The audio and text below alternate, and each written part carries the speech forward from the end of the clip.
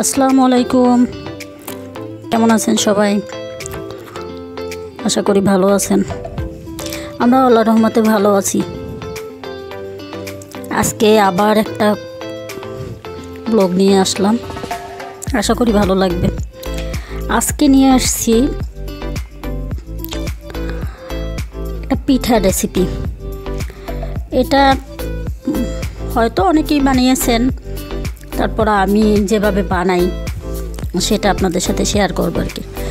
আমাদের ঘরে, প্রত্যেকের ঘরেই কলা থাকে। কলা যখন বেশি পেকে যায়, তখন আর কেউ খেতে চায় না। তাই ও কলাগুলো না ফেলে দিয়ে ওটা দিয়ে একটা পিঠা বানানো যায়। আজকে আমি কলার পিঠা বানাবো। কলার বড়া। কলা দিয়ে বড়া বলেন বা কলা পিঠা যাই বলেন, সেটা আর কি বানাবো। প্রথমে আমি, আমার কাছে চারটা কলা ছিল। ও চারটা কলা নিয়ে নিলাম। চারটা কলা নিয়ে নিলাম, এগুলোটাকে সুন্দর করে ম্যাশ করে নেব। একদম কোনো যেন ভিতরে কোনো লামস না থাকে, একেবারে কোনো একদম ই করে ফেলব।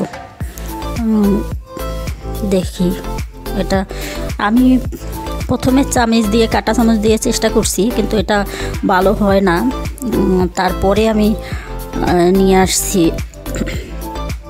তারপর আমি হাত দিয়েই এটা করলাম। হাত দিয়েই সাথে চিনি দিয়ে দিলাম। চিনিটার সাথে এটাকে সুন্দর করে একদম মিশিয়ে মিশিয়ে নেব। চিনির পানিটা বের হয়ে গেলে একদম সুন্দর করে চিনির সাথে কলাটাকে সুন্দর করে মিশিয়ে নেব। জানি কোনো ভিতরেই না থাকে ওভাবে। অনেকক্ষণ ধরেই মেশাতে হবে। এটা যত ই হবে, মেশানো হবে, ততই সুন্দর হবে পিঠাটা। তারপরে পিঠাটা অনেক সুন্দর হবে আর কি। এবার আমি চালের গুঁড়ো দিয়ে দিলাম এক কাপ। আমি সব পিঠা একদম সম্পূর্ণ চালের গুঁড়ো দিয়ে করব না। সম্পূর্ণ চালের গুঁড়ো দিয়ে করলে আপনারা করতে পারেন চালের গুঁড়ো দিয়ে সম্পূর্ণ।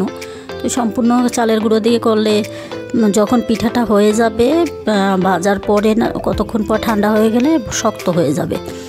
তাই আমি সাথে একটু ময়দা দিব।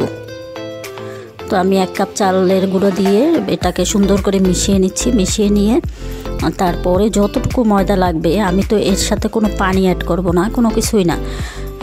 এবার আমি ময়দা দিয়ে দেবো, আস্তে আস্তে করে দিব। যাতে একসঙ্গে দিলে হবে কি, দেখা যাবে ব্যাটারটা শক্ত হয়ে যাবে। এটা একদম নরমও হবে না, আবার একেবারে শক্তও হবে না। আমার ব্যাটারটা রেডি এবার ডেকে আমি একটু রেস্টে রেখে দেবো। আমি দশ পনেরো মিনিটের মতো রেস্টে রেখে দিয়েছিলাম। এবার তেলটা গরম করে পিঠাগুলো দিয়ে দেবো। এটা হাত দিয়েই দিয়ে দেবো আমি। হাত দিয়ে দিলেই ভালো হবে, কারণ কলার তো একটু আঠালো আঠালো থাকে। আঠালো আঠালো এটা চামচ দিয়ে দিলে হবে না। আর দেওয়ার সময়, পিঠাটা দেওয়ার সময় খুব খেয়াল করে দিতে হবে যাতে লেজ বেরোবে না যায়।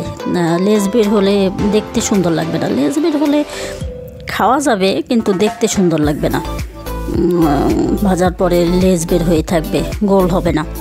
তাই একটু সুন্দর করে অল্প অল্প করে দিয়ে দিতে হবে। আমি একবারে যতগুলো আমার ফ্রাই প্যানে ধরে অতটুকু দিব, তারপর পরে আস্তে আস্তে বেজে নেব।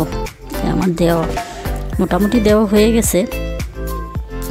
যেটা আমার চুলার জালটা আমি লোতে রাখছি, কারণ হলো বেশি আঁচে রাখলে, তাহলে পিঠাটা দেখা যাবে পুড়ে যাবে, ভিতরে হবে না। তাই আমি লো ফ্লেমে দিয়ে রাখছি, ওটা আস্তে আস্তে পিঠাটা হবে। আমি উল্টে পাল্টে তারপরে সবগুলো পিঠা বেজে নেব এভাবে এভাবে করে। দেখেন আমার পিঠার কালারগুলো কত সুন্দর হয়েছে, আর কত সুন্দর ই হয়েছে, ফুলে উঠছে। এই পিঠাটায় ই দিতে হবে না বেকিং পাউডার দেওয়ার দরকার নেই। কলাই বেকিং পাউডারের কাজ করে। বেকিং পাউডার দেওয়ার দরকার নেই এটাই। আর নারিকেল থাকলে আরেকটু ভালো। আমার নারিকেল ছিল কিন্তু আমার মনে ছিল না দেওয়ার জন্য। আপনারা চাইলে নারিকেল দিয়ে নেবেন। নারিকেল দিলে আরেকটু ভালো হয়। খেতে মজা লাগে আর কি। পিঠাগুলো বাজা হতে থাক। আর আমার ভিডিও কেমন লাগে, ভালো লাগলে অবশ্যই লাইক দিবেন কমেন্ট করবেন। ভালো ভালো কমেন্ট করবেন। আর যারা সাবস্ক্রাইব করেছেন তাদের অসংখ্য অসংখ্য ধন্যবাদ। যারা করেননি তারা করে দিবেন। আমার পিঠাগুলো হয়ে গেছে, আমি এবার উঠিয়ে নিব। পিঠাগুলো দেখেন কত সুন্দর হয়েছে, দেখতে কত সুন্দর লাগছে। দেখতে যত সুন্দর লাগছে, খেতে তার চেয়েও মজা লাগছে। দেখেন। আমার পিঠাগুলো একদম উঠানোর জন্য তৈরি হয়ে গেছে। এবার আস্তে আস্তে আমি পিঠাগুলো উঠিয়ে নেব।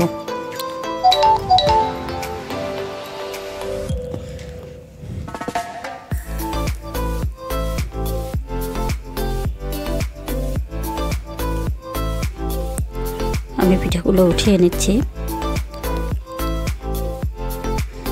আমি একটা কিচেন টিস্যু দিয়ে তার মধ্যে পিঠাগুলো সব উঠিয়ে নেব। আমার পিঠাগুলো সব উঠানো শেষ। এবার দেখেন দেখতে কত সুন্দর হয়েছে, দেখেন। পিঠাগুলো কত সুন্দর হয়েছে। তো আজকে আপনাদের কাছ থেকে এখানে বিদায় নেব। আমার ভিডিওটা ভালো লাগলে লাইক দিবেন। ভালো থাকবেন সবাই। আল্লাহ হাফেজ।